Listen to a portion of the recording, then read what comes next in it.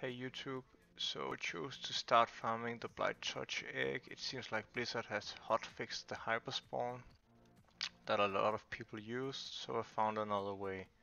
Pulling all the small mobs here and killing them.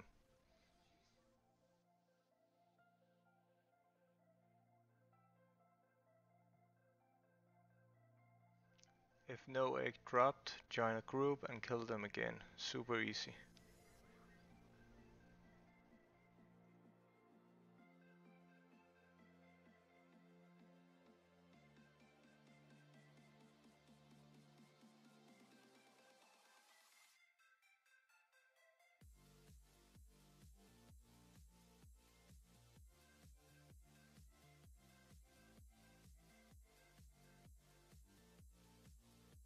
Feel free to give the video a like and good luck.